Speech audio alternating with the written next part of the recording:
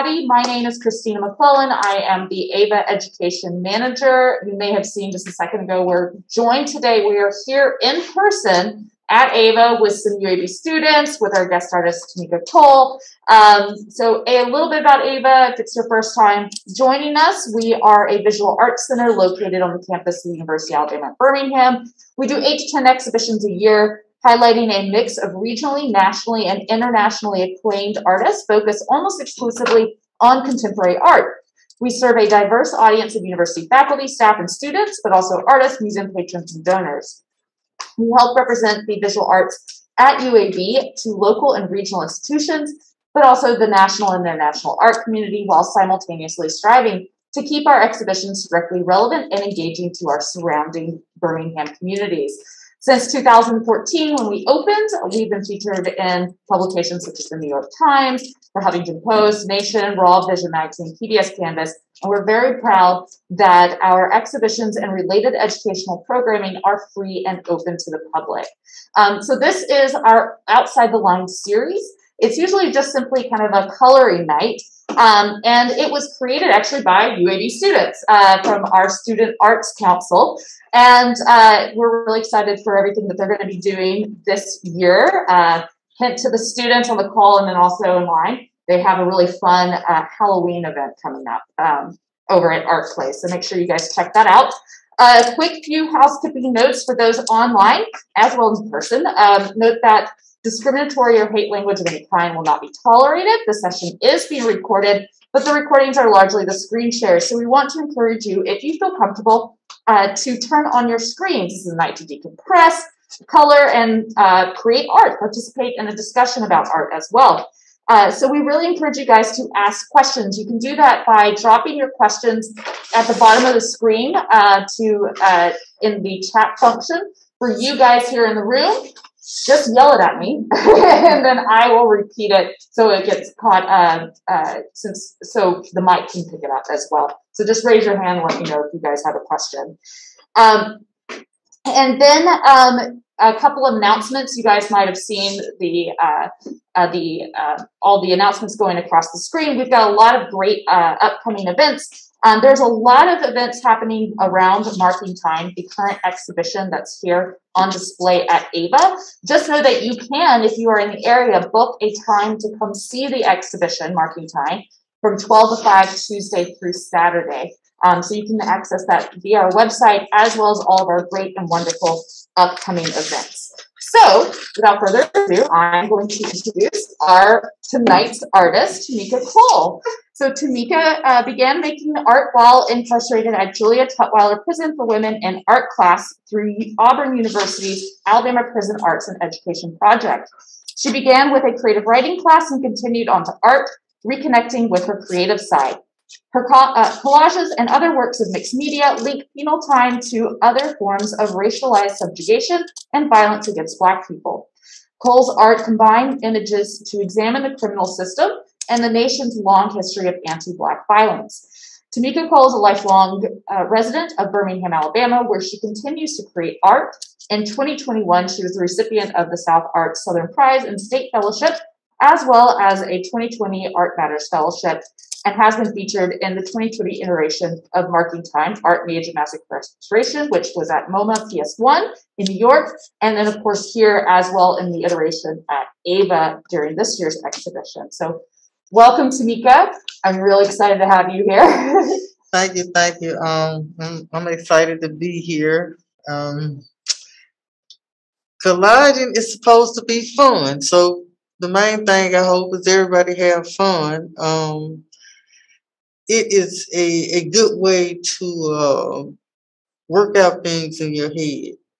You know, it's it's like a thinking board. So um, sometimes the subject matter will be serious, and other times, you know, it'll be more fun, like what we came to do tonight. But you can do it about anything you want to do. Um, it's just um, the best advice I can give is to not be uptight know the rules, love the greats, but when you're a working artist, it's it's really all about feeling, being true to your authentic self, even if people doubt you. or they say they don't like it. If you do that every time you sit down and do something, you'll enjoy yourself. And you'll, you know, you'll overcome any negatives about it. You know, you just learn to enjoy what you do. And it helps. So Well, how should we get started? For those of Um, us in the room as well as at home. you know you can you can you can collage absolutely anything really truly you can um there is a selection of cartoon characters um uh, different type of paper texture and color um there's also crayons and markers a collage can be built on every single thing you see on this table or the least thing on this table uh, if you attach just an eye to this paper, it can mean so much. So it's what you see in it. So you, you, you really just take that approach of as you're going through the process, what does it make you feel? And it don't have to be like serious, like I said, anything. Halloween coming up. Make a cartoon character scary. Who you want to be your superhero. Create that person. So it could be a photo of yourself injected into whatever you're doing, but you can make the layers as much as you want to or as light as you want to. So, um, what do you think about when you start a collage? Like, do you draw things out? Do you just start cutting? Uh, what kind of goes into your thought process? Uh, probably too many thoughts at one time. so I think that's why I do it. Because I could just have a burst of um, ideas and I can't keep up with them. And it just, so I guess at random, if something really sticks out to me, the way I know something sticks out to me is um, something I want to pursue if I dream about it. Mm-hmm. And usually, however I dream about something, you know, I could hold on to that and I could just really, straight out of my mind, put it on paper. Yeah. So, why, why, why did you decide that we would do cartoon characters today? Um, I have different processes uh, in my life, and like uh, all the success is great, but since I'm kind of int- introverted, um, I have moments where I need escapism. So I like to laugh. I like cartoons. I like pixie cartoons, especially. Um, I like new, I newer cartoons or whatever. So I just thought, um, not only that, and just what we have to deal with on a daily basis in society as a whole is stressful. You want to do something that could, you know, make you laugh, you know, make you smile, think about it, and you just don't want to think about negative things, things that make you sad, things that make you upset. Uh, well, why don't you uh, talk us through what you've kind of already started on um, there and where you think you might go next with the collage? Um, even even just playing around with the bugs bunny like I did. Um, normally, if I'll do something like that, it's not actually what I'm gonna do. Yeah. So it's just really it just get it just get be charged up, get me flowing. So even though I put together a different like Bugs Bunny, probably not what I'm gonna end up doing. Okay. It just starts my it just kicks my brain in. Okay. So Well, um, kind of as we start to make here, I, I want to ask you some questions about your kind of life and career as an artist. Um, so, what really inspires you to continue to make artwork? um uh it's, it's the way that I connect with just seeing the world around me, people, um, people that's happy, people that's content, people that look like they pissed off. It's just really absorbing the everyday human condition. And you know, I I see it, and yeah, you know, I I look at some of the media, but not a lot of it is good for you. Mm-hmm. So, but for me, it's um me trying to process that myself. Um, I always tell myself like you're you, you're not perfect. You're not gonna be perfect. So uh, I just try to be a decent person and look at other people's circumstances and have a level of understanding Mhm. for what the next person is going through. Yeah, so a lot of empathy and um, and trying to kind of process then hmm what you see around you. Um, so with that, I, I'm going to kind of oscillate between the questions I had and then also this. So where do you think you're going to go?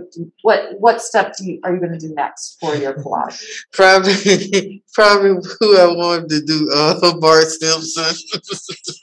So why is Bart your favorite cartoon character? uh, I probably shouldn't say this on on uh, on TV, but the first time I saw um, Bart Simpson, I wasn't aware that they made adult cartoons, and it it was Christmas time, and Homer told him he was gonna buy him a, a TV, but Homer didn't buy the TV, so he cursed, and I was just really shocked because I didn't know cartoons do that because Yeah. I wasn't first.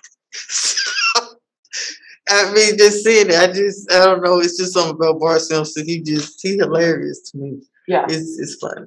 Okay. So we just, uh, he pretty cool. So um, I gave everybody in the room uh, white and then also black paper for kind of your backer, but everybody also has colorful paper as well. Um, what? Why do you decide to move towards the black paper instead of the white paper? Is it because it helps color pop, or you know what? What's your thought process here? Um, color pop, yes, but also, uh, I'm just my life as a whole, everything I've experienced. Um, I think the reason why I choose darker backgrounds is because normally we do not like to deal with our darker selves. So I always say, um, not being ashamed of that, but looking at it in depth and not being afraid to have it on on display actually helps you to become like as a person. That's, that's pretty um, amazing and, and inspiring, actually. Um, so, um, what are you drawn to in creating your art? Um, what role does it really play for you in your life? I know you kind of said a little bit about that, but um, why have you decided to stick with art, visual art, instead of, say, writing? Because I know you got into art originally from a writing prompt. Um, so, can you tell us a little bit about that? Um, well, we have to learn um, seizing the moment. Sometimes the universe have things perfectly aligned for us, and um, you have to just be open to receiving it. So I just feel like this is creating a platform um, for me to eventually get back to my writing. And, uh, you know, right now, just uh, going with the flow, uh, enjoying it. Mm-hmm. So in that you like uh, writing and then also art. Are you uh, are you reading anything these days? Uh, I buy crazy amount of books. Now, have I read them yet? No. Um, kind of as we all inspire to be or aspire to be. Uh, read all the books that we want to and then never do. what I do want to do is uh, start making time to, uh, you know, if it's just read like one hour a day, that's something that's on my to do list. Mhm. Reading is very important. Uh, so soothing. hmm Does your reading list ever make it into your art, um, or is it really more inspired by experiences and what's going on in the world? um, it's more or less experience and like I said, different things that I choose to absorb what I need to at the same time. Um, you know, kind of process the craziness that goes on in the world, but um, writing writing is something that it's it's it's actually more my personality than doing the art. But it's like um this is a great opportunity and I do enjoy doing it. So I know I'm doing it for a reason. I mean I know what the reason is, so just keep pushing forward with it.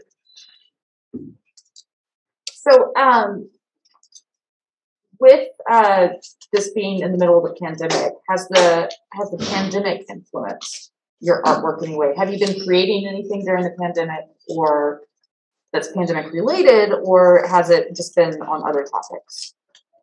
Uh, Sounds like the pandemic's been pretty busy for you with all the exhibitions. yeah, no, not not not really about um if I would do something about the pandemic um creatively, it would definitely be film. Mm-hmm. Or or possibly writing.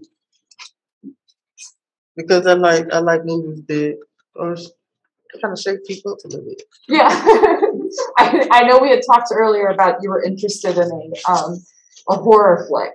Um, Candyman. sorry, Candyman. No. Are you gonna see the new Candyman? I'm going to. Okay.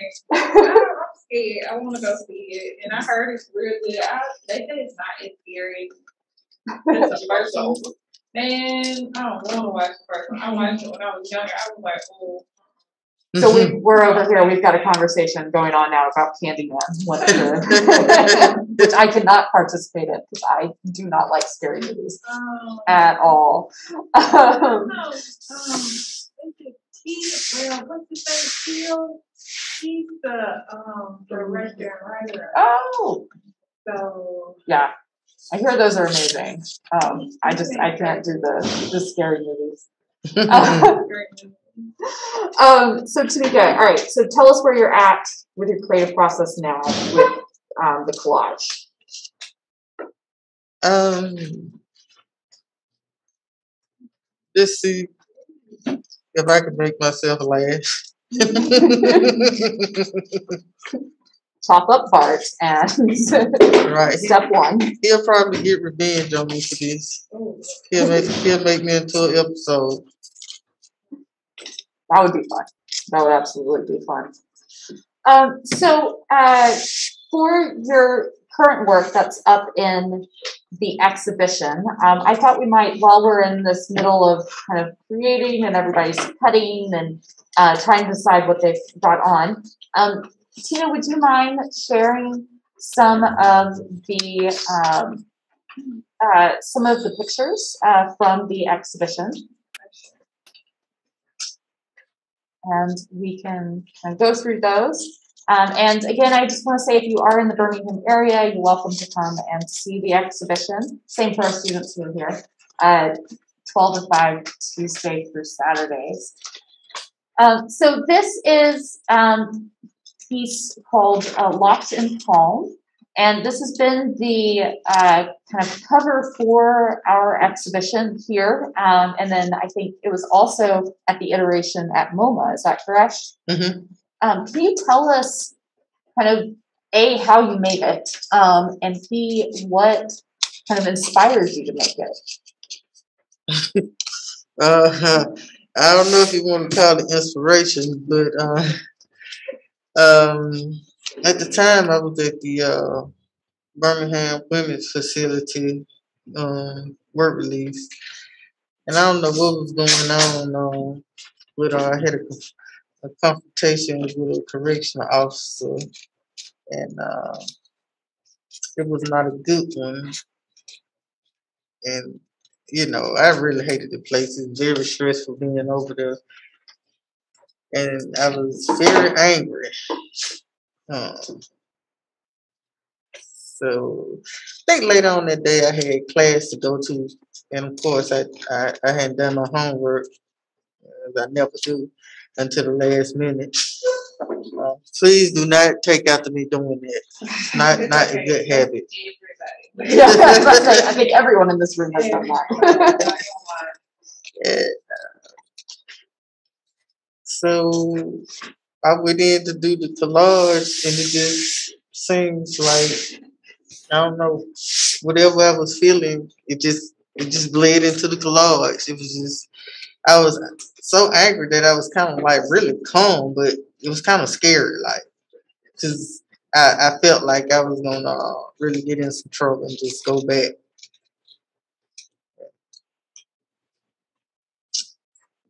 So it became kind of a, um, a way for you to process the experience then. hmm Was this the, one of the first pieces of work that you made? Um, or was it kind of later on? Um, it may have been, may have been maybe like my third, third, or fourth piece because uh, I started out doing it uh, for for charity, but at the same time I was going to this art class, and when I got to class that day with the piece, uh, Kyes Stevens, when she saw it, I mean, she, she was trying to tell me how special she thought it was, but I was so angry I really couldn't think about what she was saying. Um, but um, after that, over over a period of time, it became a way that uh, I used to kind of therapy to deal with it because I really, really didn't like being there, and it was really important for me to hold myself together to actually get out of there. And so, um, Stevens is with the, uh, Alabama Prison Arts and Education Project. I think I got all the words in the correct order there. Uh, Can you tell us a little bit about that program and what that meant to you? oh, whew. honestly, I mean, just really looking back, had I not ever signed up for that class, I would not be sitting here right now. Um, that was the moment when I really found myself. But it didn't come easy like that. It took some convincing, but once I bought into it, I was just all into it. And um, just kept signing up for class over and over and over and over. I wasn't signing up for nothing else. And uh, it, it really kind of changed my whole spirit. Mm-hmm. And so the first class you took with them was a writing class, was that correct? Um, and do you remember the prompt for that one? Oh no, I've been to so many. Um, no, I can't exactly remember, but I do know Kyes actually taught first class. Oh, that's awesome. To So, um, before we move on to the next piece, uh, tell us where you're at now with the collage. I'm probably never where it's really a process. Yeah. Going through and selecting But and once.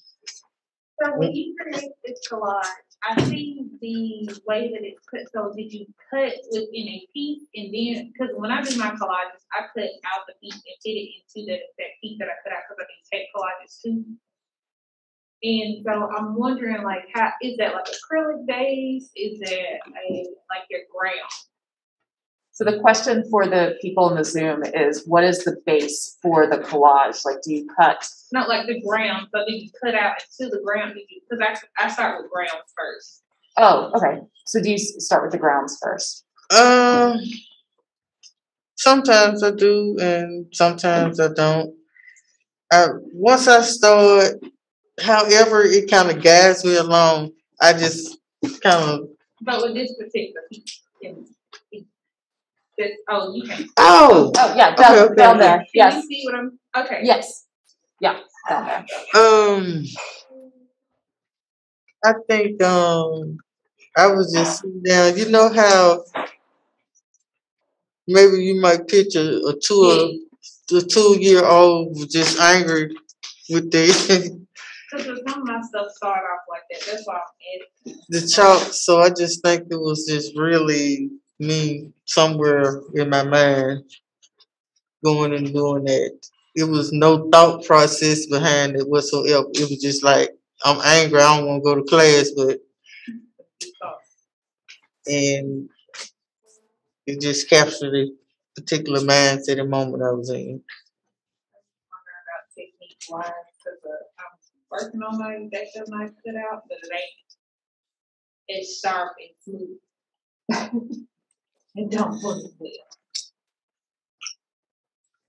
So what would you advise with that if it's not going the way that you want, Tameca? When um, would you just keep going with it, or would you stop and pivot and, and go to something else, or Oh, what would be your Pilates, advice on that? Pilates are wonderful like that. You can mess up everything, but just the way it is, you can cut that out and sit it to the side. I do it all the time.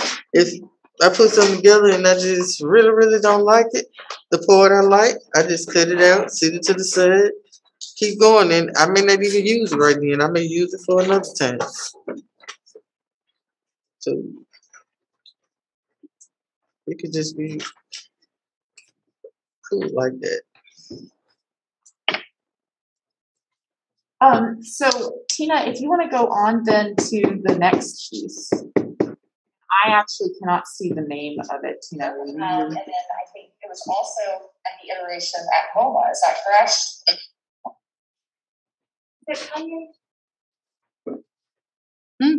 Was that's up in the exhibition, um, I thought we might, while we're in this, or, I think, let's see. So when you find your um subjects, are they just random people that you find, or do you have like people that you know, you just like, hey, can I borrow your face? Uh, it's def it's definitely random people, uh, especially since uh, I don't want to make people feel like I imposed on them in a private type of way. So the, the question to the, um, to the Zoom was, uh, are the subjects of her collages specific people or are they random? Uh, So, uh, Tameca, can you tell us a little bit more about this particular piece? Um, I think uh, might it's just it may have flashed up on my phone. Um, and one of the things I do is kind of read the comments. Uh, when you read the comments, is where people get to hide. They get to be cruel. They get to say things um, they feel confident in doing it. And what they fail to realize is that you, if you know how to express yourself in a respectful type manner, these conversations that you want to have, they can be had. But it always gets disrespectful. So what you want people to understand is no matter what the situation is, uh, you have to have empathy. Uh,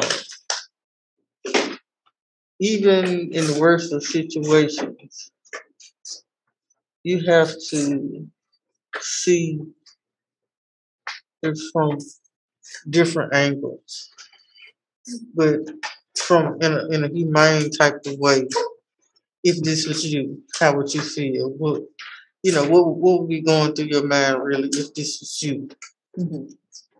If this was your friend, if this was your brother, so to speak. So when, when did you make this one in relation to, um, the first one, the locked in, the dark home? Um, that's that's that piece is kind of um recent and it's just um I think I was going through one of them phases like I say where I'm uh dreaming a lot. And whatever I see in my dream, I don't always try to understand or make sense out of it. I just create. Absolutely. Um, so uh, at this point, um, let's see. I, I am. Do you want to tell us a little bit more about uh, where you think you might be going with this clause, or we can pivot to uh, another uh, another question? Nope. so no, for um, the one that you're working on now, um, how? Well, actually, question: How did the warm up one uh, with Bugs Bunny and the ears and and everything?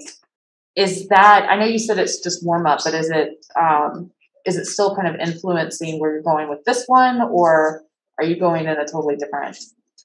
Uh, does it is it influencing in any way? Uh, no, I don't think so. Just the warm up one.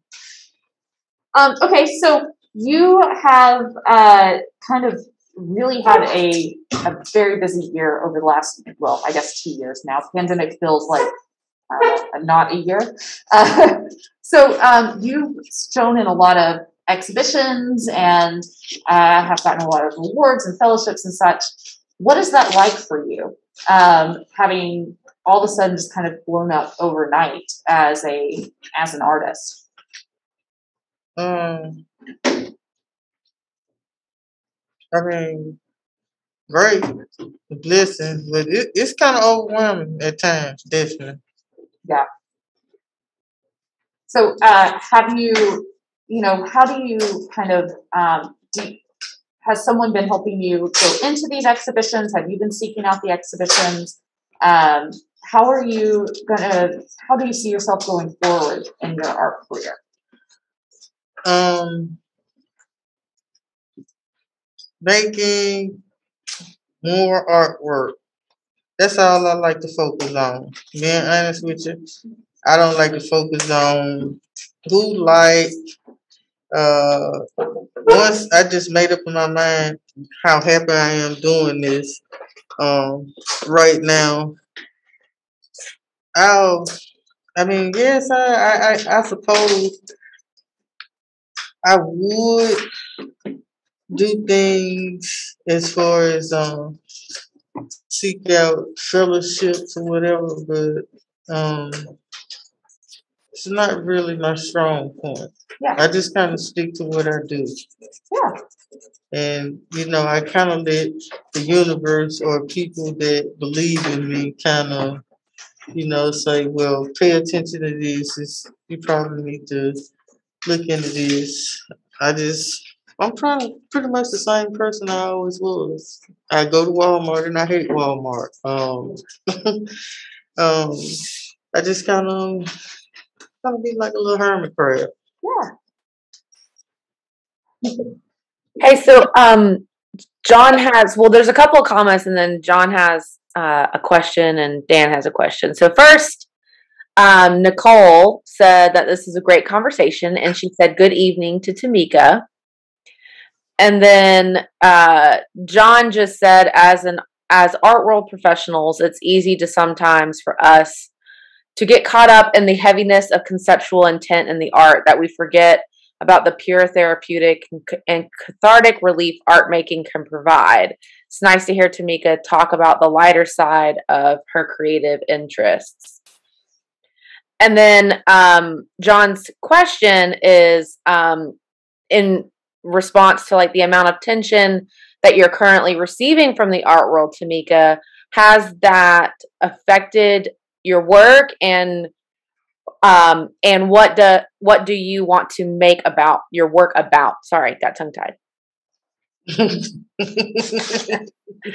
I could repeat it if i messed it up too much I'm, I'm, I'm, Tameca, I'm really interested if if all of this attention that you're that you're deservedly receiving right now, but very kind of like you know it's it's very concentrated over a short period of time. If that's affected your artwork, and is it affecting what you're planning to make art about in the future? Um, no, that part absolutely not. Um, I am way more busy than you know I can possibly manage, but I just do the best that I can. So what I do is because I store my ideas in my mind and they just really need an outlet, I'll just randomly get up and say, Oh, I'm finna go to the studio right now and I may sit there for 24 hours, 10 hours straight, eight hours straight.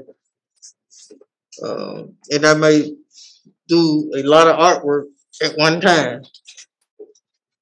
Or I may just go and I'll be like, one is in my mind is driving me crazy, so I'm just gonna go in there and I'm just gonna focus on that one piece. But I got like three good pieces like that's kind of driving me crazy. So How do you prioritize when it's when that's happening? Um how to fix my sleep. Um if I if I dream about something and especially if I dream I dream about it or I'm thinking about it so hard that I just can't go to sleep, I know that it's something important about why I need to do this. Mhm. So that's how I come up with it. Just you know, kind of let it whatever kind of rises to the top is what needs to happen. Tina, you said there was another question. Yes, so Dan wants to know what Tameca uses as collage adhesive. Do you use glue stick or spray mount, gel medium, etc.? Um, a little bit of everything. Um, and luckily I know how to improvise a lot too. Duct, duct, duct tape is included. So it's just uh Well, duct tape can fix everything. so um I use um gel mediums, uh just about everything. Sometimes you really have to experiment to kind of come up with what you with what you want. Then it also depends on what kind of background it's on. And then Nicole asked, um, also, please tell us about those scary collages that you made for um, the New York Times style magazine, incorporating images from forver former slave plantations in Alabama. Um, the New York Times Style magazine commissioned me um, to do some artwork, and it was going to be for a ghost story. Uh, I think they said the ghost story was going to be a antebellum setting, so forth. Um, set in the Black Belt. They they probably thought they did, but they never actually gave me the story to read beforehand. So I kind of just took what they what they really gave me and uh, ran with it, and I ended up um, going to Montgomery, Alabama, and a couple other places, just um, researching, just kind of getting the feel. And um, pretty much uh, put it together, but I actually used it's one of the top ten places, spookiest places in Alabama. The house right up on uh on Twelfth Avenue, uh in Norwood, and that's actually the one I I used in the end. And what is that place? Uh, it's one of those huge antebellum houses that they have in Nor in Norwood, and it has a wine cellar in it, but like it still looks pretty spooky. They use the wine cellar; they don't use the other parts of the house. So, um, Tina, would you want to go on to the next slide? And so, just a reminder, these images that we're showing are the ones that are currently up in the exhibition here at AEIVA. Um, and Tina, uh, can you tell me what the name of this one is? Yes, it's um Dark Distortion in Black, um 2021. So this one's a newer piece then. Um, can you tell us uh, kind of what inspired it or um, where you started with it and how it came out the way it did? Um, it's one of those situations where uh, I was way too overstimulated by social media, news media, crazy people, and uh, it was having a mental health toll on me. And this is how I felt. Um, I was kind of like in a bad space at that time, just listening to it. Um, because in a sense, I didn't want to actually make any more work about it, and uh, it's just was, was trying to figure out where uh, how was I gonna process these feelings if I don't want to make any pieces about about it? Um, so that was just more some of my personal feelings, and and just me just naturally being um, when I feel overwhelmed.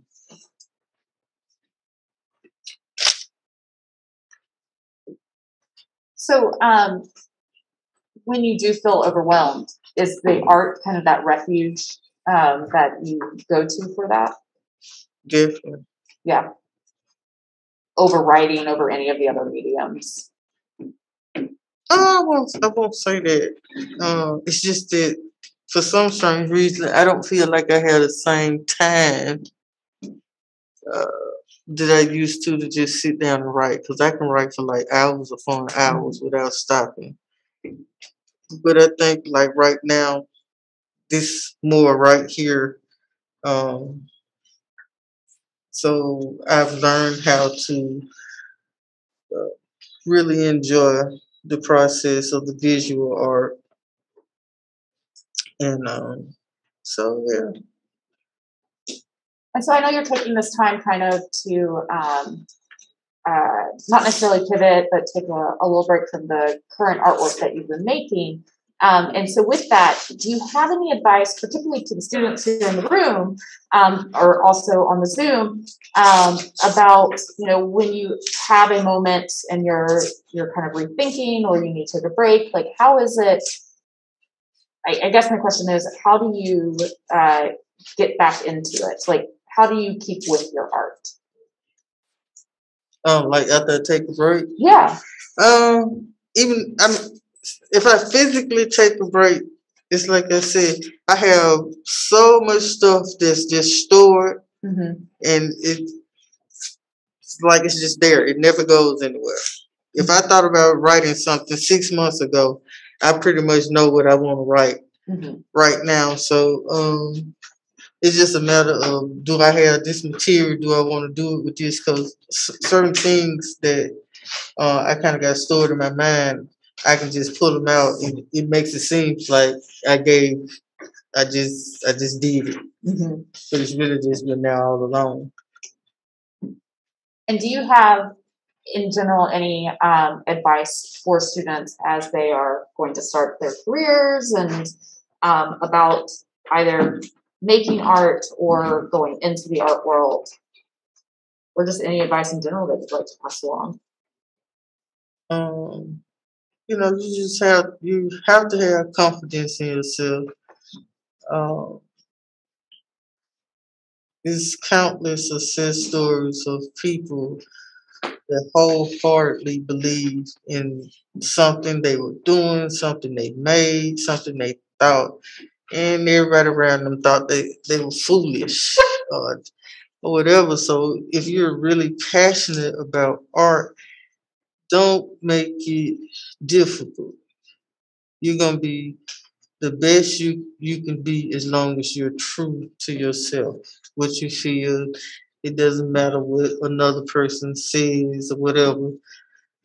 If you're true to that, you will always come out with something that resonates with somebody in the world.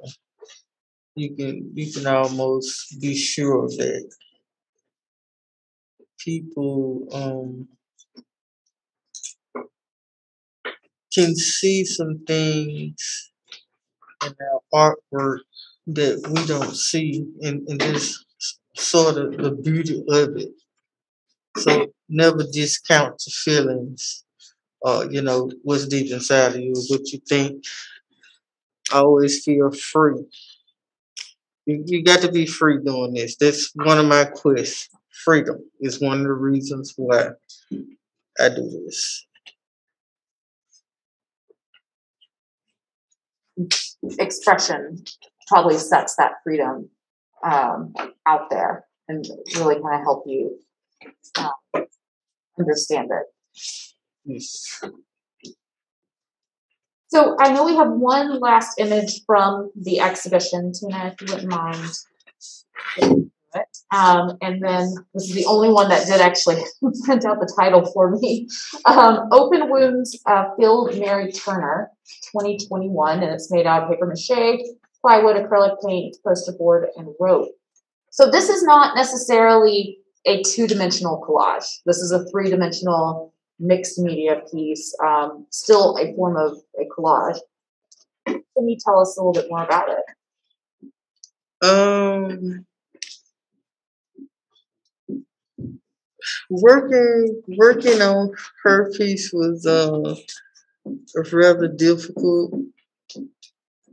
After um, I did some, you know, collages in reference um, to what Mary Turner had went through. Uh, somewhere inside my spirit, I did not feel like um, I had done what I feel like I need to do as an artist to, um, you know, sort of kind of, I, I don't know. It's some kind of way that I just, I felt the situation. And um, it just uh, made me just go through that process. It did. Uh, what really inspired you to go to make this um, more three dimensional than the other two dimensional works? Uh, and have you started gravitating towards more three dimensional pieces? Um, you hear you hear a lot of people talk about um, different tragedies that um, African Americans have experienced. But the the way it made me feel when when I heard that, like it seems like it doesn't get the attention that it needed, and I really wanted people to feel and understand, you know, how horrific that was, what she went through, what what, what she what she personally looked like, um, how I don't know it seems like a person be um, almost be soulless to carry out that type of act. Mm-hmm. So. so I want to. I know we're almost at the end of time. Um, I want to. I, oh, sorry, Tina. Did you say something? I was to say there. Um, Sonia has one question. Okay. Um, does Tameca have any artists or craftspeople in her family? Um, my dad and my uncle, um, both of them were pretty artistic. Um, and when I was younger, I actually wanted to draw just like them. But back in them days, they used to call a starving artist. And and my dad was like, "Well, you good at it, but I don't if you're gonna be able to make no money doing it." So I mean, I guess that was his reason for giving up, but some kind of way it all came back full circle for me. That's great. Um, do you guys here in the room have any kind of final questions? Source your materials nowadays? Like, does you just have stuff come to you and use what you have, or do you like deliberately go out and look for like certain types of And so the question to the Zoom was, how do you source your materials? Um, I still pretty much do the same stuff that I started off. I go by a lot of magazines, but the truth is, I like the magazines, and sometimes there's just some in the magazine that I don't want to cut it out of the magazine. Um, but as time has went on, uh, I have started to uh, want to explore different type of material. Um, and work on larger scales. So I suppose that will actually make me um, go and seek out a whole lot of different materials.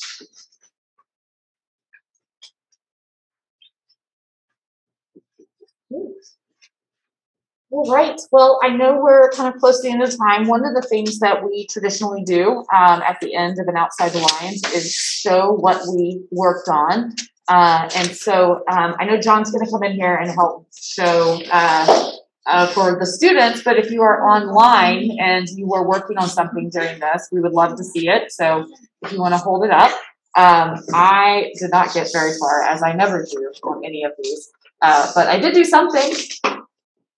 Mm. um, and uh, so uh, I do want to say that uh, Tameca's here with us. Uh, her her artwork is in that show, marking time. Art in the Age of Mass Incarceration. Um, and that is curated by uh, Dr. Nicole Fleetwood, who is here online with us, who is the James Weldon Johnson Professor of Media, Culture, and Communication at New York University. And the exhibition reflects her decade long commitment to research and programming on the visual art and culture of mass incarceration. Uh, we are thankful to her and the entire Marking Time team for working with us on bringing the exhibit to Birmingham. Um, major support for Marking Time, Art and Age of Mass Incarceration, is provided by the Art for Justice Fund, a sponsored project of Rockefeller Philanthropy Advisors, NYU Steinhardt School of Culture, Education, and Human Development, as well as the Alabama State Council for the Arts. Um, so please, if you'd like to come see it, we would love to have you guys. Tameca, thank you so much uh, for being here with us today. Uh, John, do you want to kind of show what the artist? Okay, what, if what everyone will kind of hold theirs up, I'm gonna do like just a little kind of pass by. Sure. Oh, It's not ready. wow. That's okay. If you, if you keep working on them and actually end up finishing them, uh, feel free to either send them to us or. Yes. Yeah. So for anyone, as always, if you're at home, um, you take a picture, post it on Instagram at AEIVA UAB, tag us uh, in it, and uh, and for you guys, if you guys want to do that uh, later on, or you know, feel free to shop, stop by and show us since you guys are in the building. we would love to see it. But thank you, Tameca. Thank you to our students, our uh, our wonderful tech staff. Uh, really appreciate it. Thank you to everyone online and have a great night, everybody. thank you.